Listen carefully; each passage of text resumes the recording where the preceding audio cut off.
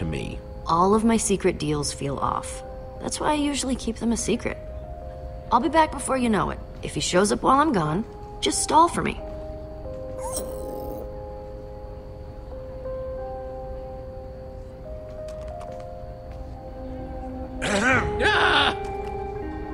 And just who are you? I'm waiting.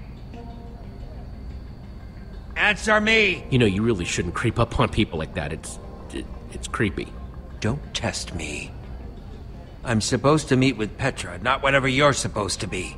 Give me one good reason why I shouldn't walk out of here right now. Well, I'm a very busy man.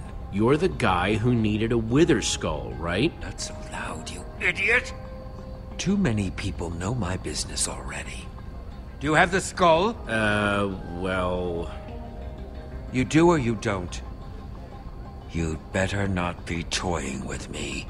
Uh, of course I have it. What kind of dealer would I be if I didn't? Let's see it, then. You want to see it? You bet I want to see it. I'm gonna show you. Show me, then. Stop rushing me. I get nervous when I'm rushed. I'm not wasting any more time with you. Ivor! Not a moment too soon. Your partner here almost soured the deal. Ah, well, that's not good. I left my friend Jesse here while I went looking for you. I've got what you asked for. If you have what you promised us. You didn't say anything about an us when we first met? And I don't like surprises. If these are the sorts of people you associate with, perhaps we should call the whole thing off. My friend is fine, right, Jesse? There's no problem here. Let's not be too hasty, okay? This is just a little misunderstanding. Maybe we should rethink the whole thing. This guy gives me a bad feeling. I'll give you a bad feeling if you ruin this for me. Proceed then.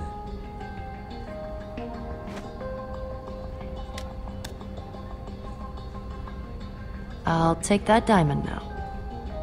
Take it. You've earned it.